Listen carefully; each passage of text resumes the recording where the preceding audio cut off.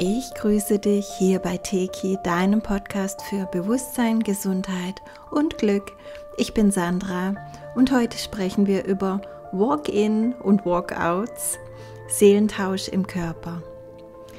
Ich habe in letzter Zeit außergewöhnlich viele Zuschriften bekommen von Walk-in-Erfahrungen bzw. Menschen, die erkannt haben oder meinen, dass es bei ihnen so war und es hat natürlich auch viele damit verbundene Fragen aufgeworfen. Allein schon heute waren es wieder drei Zuschriften, sodass ich beschlossen habe, einen Podcast dazu zu machen, um euch dieses Thema etwas ja näher zu bringen und eure Fragen so gut wie möglich zu beantworten. Ähm, wenn ihr mein Buch Involution gelesen habt, dann wisst ihr ja, dass ich selbst die Erfahrung aus einer anderen Inkarnation kenne und deshalb hat mich das Thema auch schon immer interessiert und ich war auch in dieser Inkarnation immer schon sehr am Forschen zu diesem Thema. Ähm, da gibt es ja nicht das eine Werk, woraus man alle Antworten beziehen kann, sondern das ist letztlich die Quelle.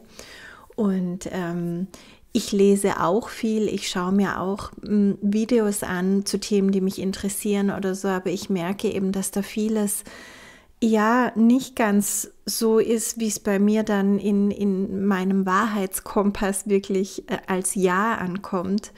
Ähm, ich möchte jetzt auch nicht sagen, dass viel falsch ist, aber vieles ist auch nicht vollständig, ist nicht komplett. Und wenn man dann so was Halbes hört, dann hört sich das auch oft, ähm, kann das falsch verstanden werden, sagen wir es so. So geht es mit vielen Themen, nicht nur mit Walk-ins, ähm, deswegen, ich spreche immer erst dann zu Themen oder schreibe die auf, wenn ich wirklich mit meiner eigenen Erfahrung, nicht nur mit Wissen, sondern wirklich in die Erfahrung eintauchen konnte und äh, wahrnehmen konnte, wie es sich zusammensetzt. Also ich freue mich da jetzt einfach ähm, mit euch drauf einzulassen. Gehen wir erstmal auf die Frage ein, was genau ist ein Walk-in? Und ähm, ja, auch wenn jetzt gerade viele Menschen erwachen und merken oder vermuten, ein Walk-in zu sein, dann ist es bei vielen gar nicht so. Sie haben sich einfach entwickelt, sind ein paar Ego-Schichten losgeworden. Einiges, was sie nicht sind, haben sie praktisch transformiert und sie sind jetzt einfach viel mehr in ihrer Essenz, in ihrem wahren Selbst verankert. Und es fühlt sich dann nach ganz großer Veränderung an und das ist es ja auch in dem Leben. Aber es ist nicht zwingend eine Walk-in-Erfahrung. Da sind einfach viele Teile des eigenen wahren Selbst jetzt viel tiefer und klarer zugänglich und ähm, Menschen, die sich vielleicht vorher auch nicht so sehr damit beschäftigt haben, mit was ist der Unterschied zwischen Ego und wahrem Selbst, die sind jetzt vielleicht ein bisschen verwirrt und haben das Gefühl, ich bin jemand ganz anderes. Mm, das muss aber nicht sein, dass da ein Seelentausch stattgefunden hat. Prozentual gesehen sind wirklich sehr wenige ein Walk-in. Die meisten Seelen kommen ganz normal über die Mutter zur Welt, sind also von Anfang an da im Mutterleib, sie erleben die Geburt, sie wachsen auf mit Kindheit, mit Jugend, mit allem drum und dran und erleben so ein irdisches Kontinuum. Auch dazu habe ich mal einen Podcast gemacht. Ähm, ein Walk-in ist eine Seele, die irgendwann später in den Körper kommt, wenn eine andere Seele ihn verlässt. Das ist also wirklich ein Seelentausch. Die eine Seele geht und der Körper steht sozusagen zur Verfügung. Das hört sich jetzt sehr praktisch an und ja, ist es eigentlich auch, wenn man es so betrachtet. Also die, das Walk-in kann sozusagen den Körper übernehmen wenn es seine Seele entscheidet, dass äh, sie die ersten Jahre überspringen kann, dass sie das alles schon durchlebt hat oder für diese Aufgabe, die sie jetzt für diese Inkarnation sich gestellt hat, das nicht braucht. Also die Gründe dafür liegen immer im Seelenplan, warum zum Beispiel diese Phase jetzt übersprungen werden kann. Es kann sein, dass die Seele sehr hochschwingend ist und jetzt auf der Erde gebraucht wird und deswegen soll sie nicht als Baby kommen und erstmal äh, Jahre brauchen, bis sie da richtig helfen kann, sondern sie soll gleich ähm, voll einsatzfähig sein, sozusagen. Es kann auch eine Verabredung der beiden Seelen sein, die schon vor Inkarnation stattgefunden hat, dass zum Beispiel die eine Seele nur ein bestimmtes Alter erreichen möchte und dann die andere Seele kommen kann. Warum will eine Seele nur ein bestimmtes Alter in einen menschlichen Körper erreichen? Auch da kann es wieder verschiedene Gründe geben, die dann Sinn machen. Zum Beispiel, wenn man nur eine oder wenige Erfahrungen zu vollenden hat, die einfach in dem Zeitraum gut reinpassen oder wenn man die Erfahrung dieses Alters noch integrieren will, weil es bisher nicht geklappt hat, weil in anderen Inkarnationen vielleicht schwere traumatische Erfahrungen stattgefunden haben in der Kindheit oder Jugend. Und jetzt will man mal noch ähm, die Erfahrung machen, wie ist es denn, wenn ich einfach ähm, da im Kontinuum durchkomme praktisch.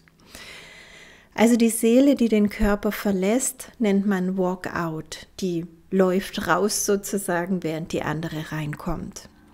Auf Seelenebene ist dieser Tausch etwas wirklich Schönes, etwas Erfreuliches.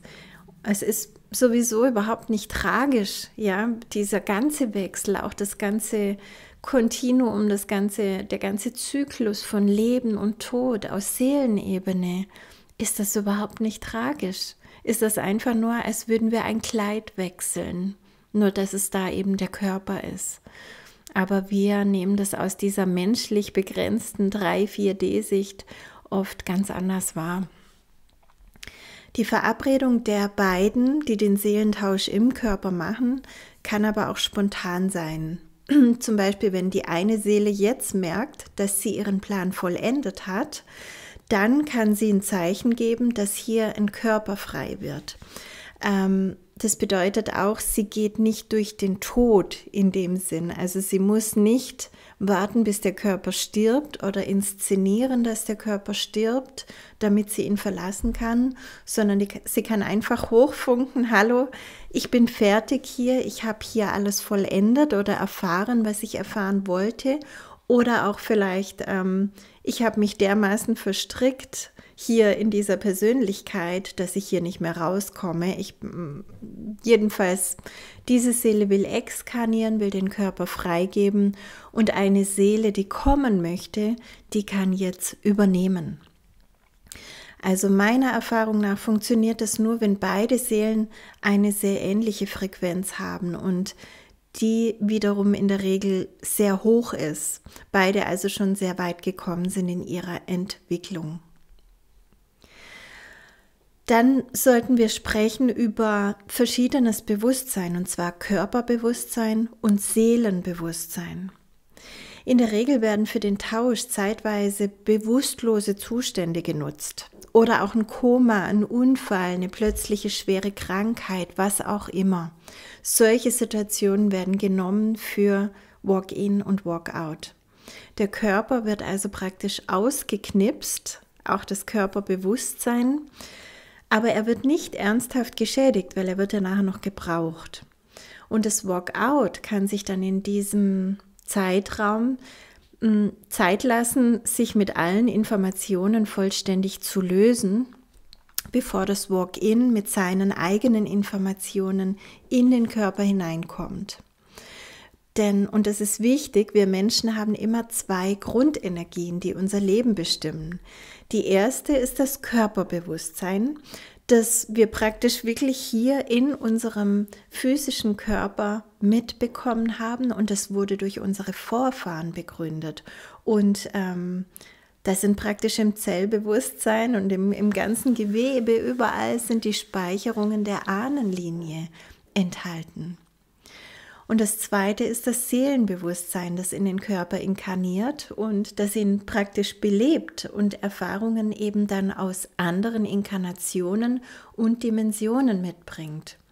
Das bedeutet natürlich für uns auch, also für uns Seelen, nicht Menschen, für uns Seelen bedeutet das auch, dass wir, trotz dass wir immer dieselbe Seele sind, doch in unterschiedlichen Inkarnationen immer auch anders ähm, denken, aussehen, handeln können, weil das Körperbewusstsein uns eben auch beeinflusst.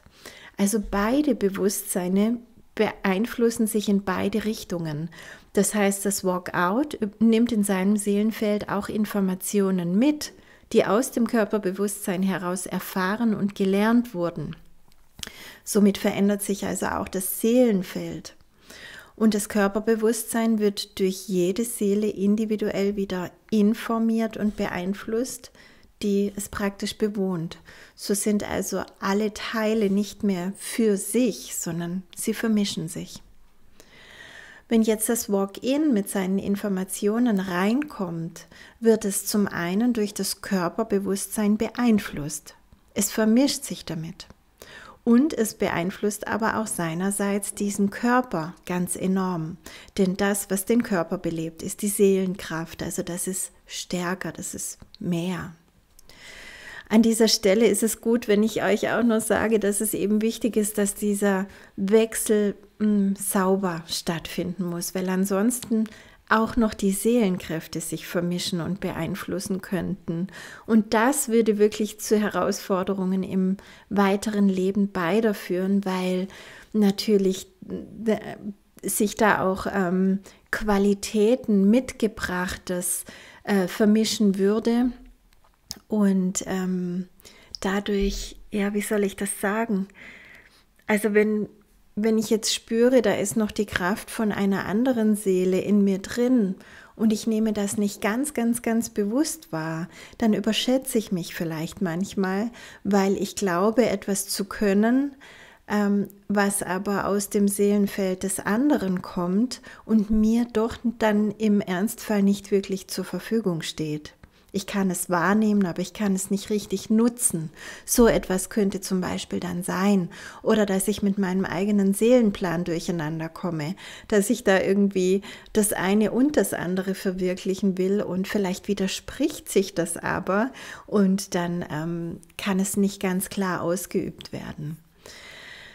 Also es gibt und es ist noch seltener Walk-ins, die praktisch notfallmäßig einspringen und dann darf auch eine nachträgliche Klärung der Energien erfolgen. Das ist wirklich wichtig, wenn es zu so etwas kam, ähm, zum Beispiel durch einen Unfall, was auch immer. Ich sehe das so, dass auf Seelenebene immer alles geplant ist und auch arrangiert wird, auch in Zusammenarbeit mit unserem geistigen Team und so weiter. Aber trotzdem kann es immer wieder auch durch Einwirkung anderer Kräfte zu etwas Unvorhergesehenem kommen. Und dann kann es auch in Anführungszeichen notfallmäßige ähm, Walk-ins und Walk-outs geben. Und da kann es gut sein, wenn man das nachher noch energetisch klärt und wirklich in dem Menschen praktisch die alten Seelenkräfte voll und ganz verabschiedet, loslässt. Danke für die Erfahrung. Ähm, geh du jetzt weiter und die neue Seele praktisch voll und ganz in den Körper rein inkarniert. Egal in welchem Alter das ist, das kann immer wieder mal wichtig sein. Ja, woran erkennt man Walk-ins? Woher weiß ich, dass ich eins bin? Woher weißt du es? Woher, woran kann ich es vielleicht an anderen Menschen erkennen?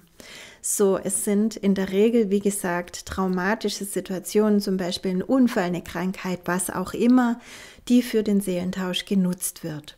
Und dann kann man in der Regel danach eine Veränderung bei diesem Menschen erleben.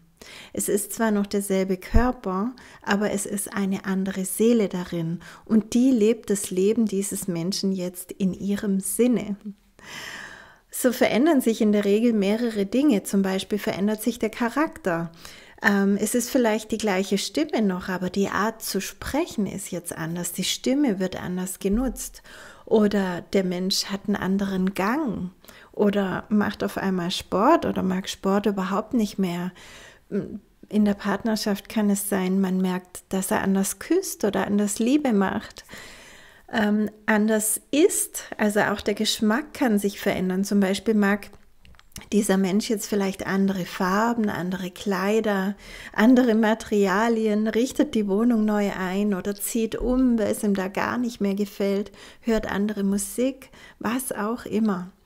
Und ja, unbewusst betrachtet rufen dann die Angehörigen oft, was ist denn los mit dir? Das hat dir doch noch nie gefallen, so warst du doch noch nie, das hat dir doch noch nie geschmeckt.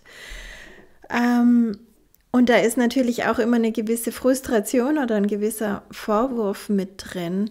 Deswegen ist es so ein Geschenk, wenn da natürlich auch bewusst dieser Wechsel stattfinden kann und auch die Angehörigen bewusst mitgehen können. Auch der Freundeskreis kann sich verändern und natürlich der Beruf bzw. die Berufung genauso. Auch Ziele verändern sich in der Regel, genauso wie der ganze Blick aufs Leben, auf die Liebe, auf alle möglichen Themen.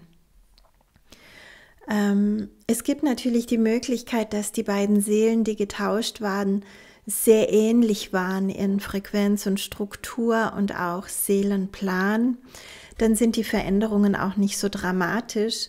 Es gibt aber auch diese dramatischen Veränderungen, die dann wirklich auch alle verstören. Mm, ja, und jetzt will ich mit dir noch auf das Alter eingehen. Also es spielt natürlich auch eine Rolle, in welchem Alter das Walk-in stattfindet äh, um weiter zu erkennen und zu deuten. Also kommt ein Walk-in schon im Kindesalter, dann fällt es oft gar nicht so sehr auf. Dann spricht man einfach von einem Entwicklungsschub ähm, und, und deutet das gar nicht näher. Weil in diesem Alter hat man öfter mal ein ganz neues Kind vor sich sitzen, wenn das wieder einen Entwicklungsschub durchgemacht hat.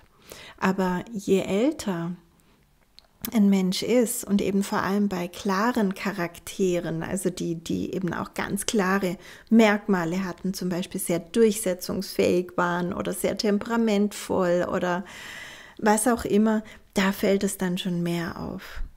Je nachdem, in welchem Alter das Walk-in geschehen ist, sind eben damit auch bestimmte Herausforderungen zu meistern. Und ich möchte einfach nur ein paar Beispiele nennen. Es gäbe viel mehr, aber ich will das hier auch nicht sprengen.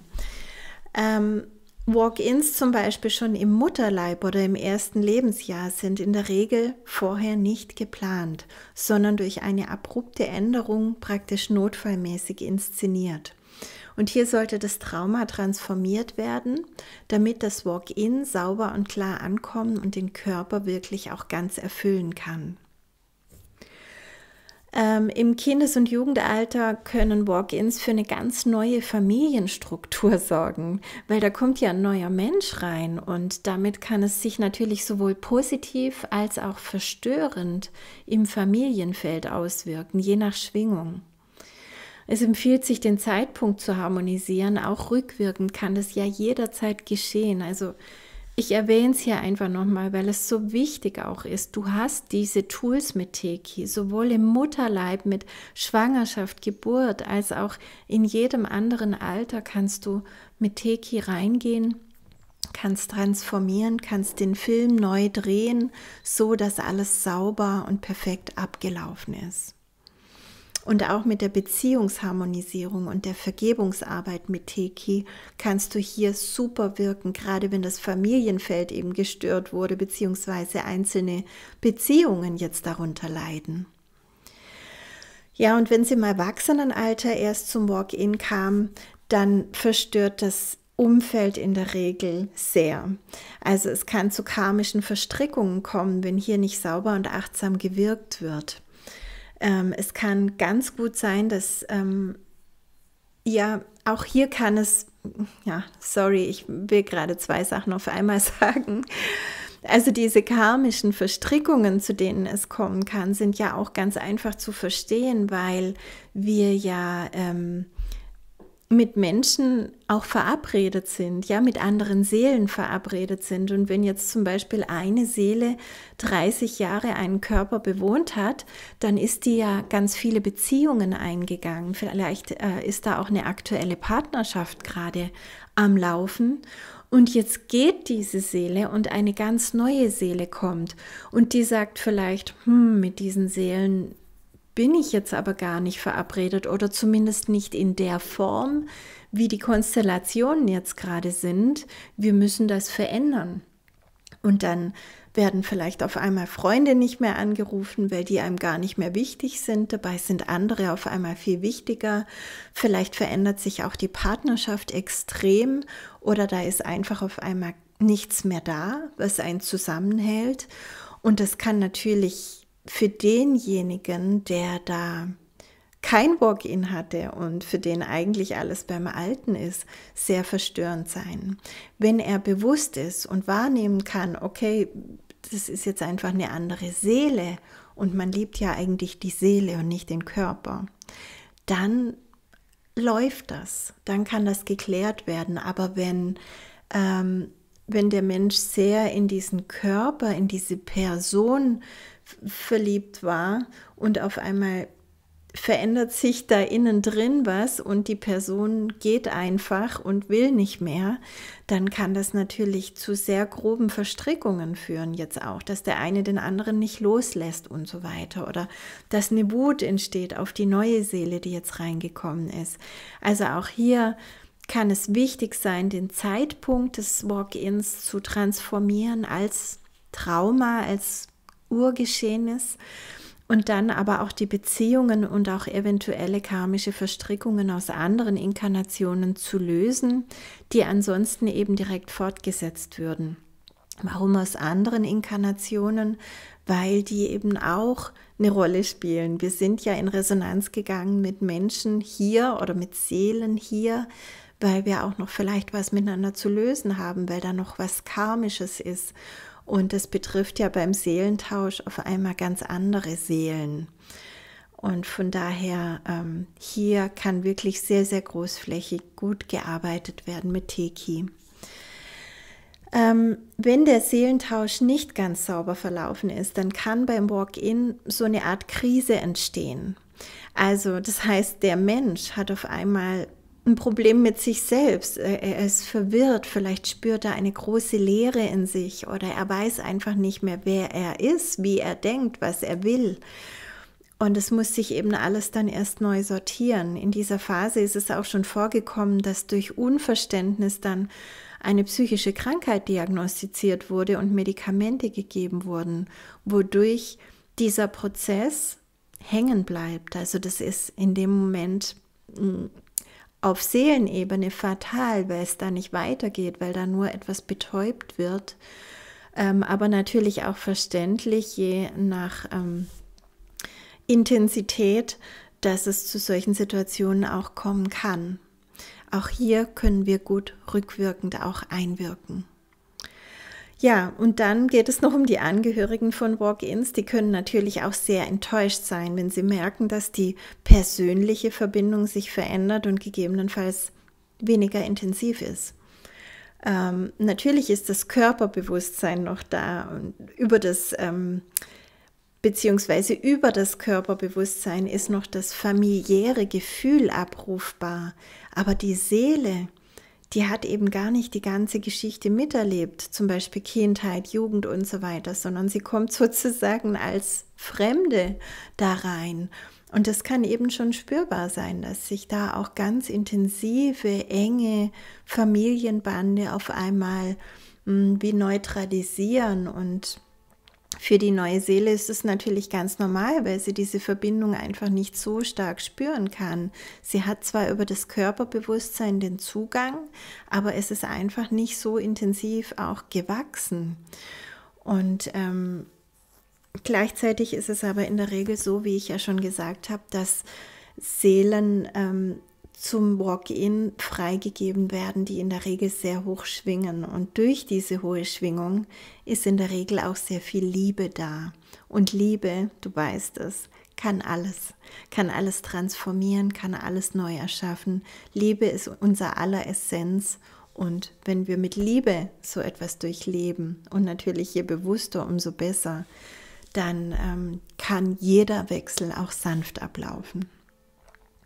Also es ist, wie du siehst, völlig individuell und es sind wirklich nur ein paar wenige Beispiele.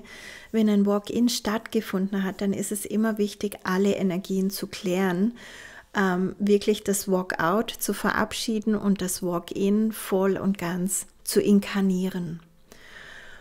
Das Walk-in hat in der Regel ja eine Mission, also einen Grund hergekommen zu sein und es ist wichtig, mm, diesen dann auch zu erkennen um sich zu klären und dieser Bestimmung folgen zu können, weil es natürlich gerade, wenn so ein Walk-in erst später im Leben kommt, ähm, schon sehr viel ähm, Vorbereitung der alten Seele eigentlich gibt, ja, für ihren Seelenplan. Und wenn man den dann komplett über den Haufen schmeißen soll, weil man jetzt als neue Seele in diesem Körper einen ganz anderen Weg gehen möchte, dann, wie du an diesen Beispielen jetzt auch vielleicht gesehen hast, ähm, gibt es eventuell viel Gegenwind? Gibt es noch ganz andere Dinge, Beziehungsthemen und sonstiges, womit man sich vielleicht noch beschäftigen muss? Und da braucht es schon viel Klarheit und innere Stärke, um diesen Weg dann trotzdem gehen zu können und der Bestimmung folgen zu können. Was mir auch schon in der Erfahrung gezeigt wurde, ist, dass es auch Dualseelen gibt, die als Walk-in kommen. Also es ist bei Dualseelen oft so, dass nur eine inkarniert ist, während die andere im feinstofflichen Bereich bleibt. Zum Beispiel, bis die inkarnierte Seele eine bestimmte Entwicklung gemacht hat, beziehungsweise einen bestimmten Punkt erreicht hat. Manchmal hat man sich da vorher schon verabredet. Also wenn du da angekommen bist in dieser Schwingung oder an diesem Punkt, dann komme ich dazu. Manchmal ist es aber auch, ja, ähm, eine spontane Entwicklung, die vielleicht nicht so genau vorhersehbar war. Und dann hm, kommt es in der Regel dazu, dass die inkarnierte Seele die andere ruft. Das ist so ein ganz starker innerer Ruf, so ein ganz starkes, hey, ich, ich will, dass du jetzt da bist, ich will, ich will jetzt den Weg nicht mehr alleine gehen, ich bin so weit, ich habe es begriffen Mm, was, was ich hier begreifen sollte. Und komm jetzt bitte. Und dann hört natürlich die andere Seele, die im Feinstofflichen bisher war, diesen Ruf und dann macht es natürlich wenig Sinn, wenn die erstmal als Baby inkarniert, weil dann zum Beispiel für eine Partnerschaft auch der Altersunterschied viel zu groß wäre. Also sucht sie sich natürlich irgendwo jemand, der gerade seinen Körper verlassen möchte und inkarniert in diesen Körper. Also auf diese Art und Weise kann eine Seele auch über ein Walk-in recht schnell kommen und ähm, das kann wirklich interessant sein in einer Partnerschaft, wo es so aussieht, ja, wir haben uns jetzt einfach endlich kennengelernt und aber das ist so eine tiefe Partnerschaft, weißt du, so ein tiefes Erkennen auf Seelenebene. Ähm, da kann es schon mal Sinn machen, auch so die Zeit ein paar Monate vorher mal zu reflektieren, ob da bei der Seele, die praktisch gekommen ist, also in diesem Leben dieses Menschen, ob es da große Veränderungen gab oder auch so ein Unfall, eine Bewusstlosigkeit, was auch immer gab, ähm, weil das tatsächlich nicht selten ist. Ja, und jetzt kommen wir noch zur heutigen Zeit des Aufstiegs, weil das ist wirklich auch interessant. Ich habe mich jetzt einfach nochmal verbunden mit der Quelle und gefragt, war das alles, was ich weitergeben soll in Sachen ähm,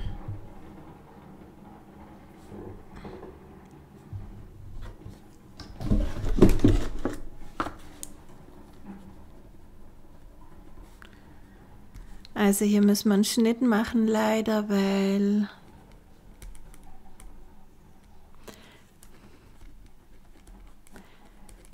da gerade jemand mit lautem Krach die Mülltonne zieht und ich nicht weiß, wie laut das zu hören ist. Ähm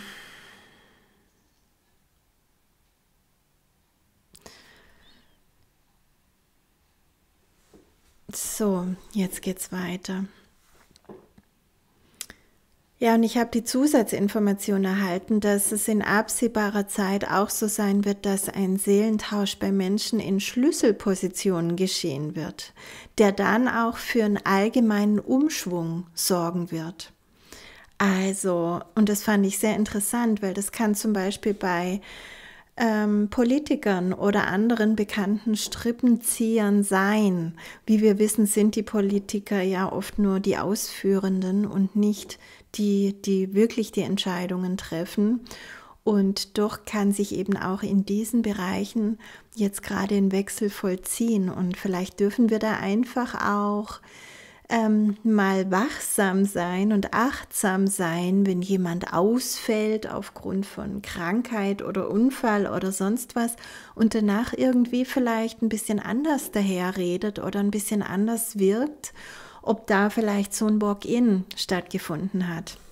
Und das kann natürlich für die heutige Zeit wirklich großartig sein, für unsere Entwicklung, für unsere Reise hier in 5D rein, ins goldene Zeitalter rein, weil wenn dann auf einmal höher schwingende Seelen inkarnieren, was ja sowieso schon überall passiert, im normalen ähm, auch, aber wenn das auch als Walk-in überall geschieht und vielleicht auch eben in diesen Positionen, wo sehr schnell eine Entscheidung fallen kann, die sehr schnell das Schicksal eines Volkes oder auch der ganzen Welt verändert, dann ähm, wird es für feinfühlige Menschen oder für hellsichtige Menschen absolut wahrnehmbar sein. Und ähm, ich bin mir sicher, dass wir uns da noch drüber unterhalten werden. Achtet auf Veränderungen und bleibt wie immer empfehlenswert wertfrei weil auch im Anbetracht dieser Informationen du weißt nie, ob der Mensch, den du verurteilen willst, heute noch derselbe ist wie gestern. ja, es gibt so viel zwischen Himmel und Erde, von dem uns keiner bisher erzählt hat. Das Leben ist ein durchgehendes Wunder. Und ja, es ist ein Risiko, aber aus Seelenebene absolut überschaubar. Wenn du das Leben spielst, dann kannst du nur gewinnen, auch wenn es dich auffordert, auch mal einen Verlust zu riskieren. Du bist nicht hier, um zu existieren. Du bist hier, um zu leben, um lebendig zu sein. Und deswegen lebe dieses Leben, als wäre es das Einzige, was zählt. Denn genau so ist es. Wir sehen uns im Feld der Freude und der Liebe. Mach's gut.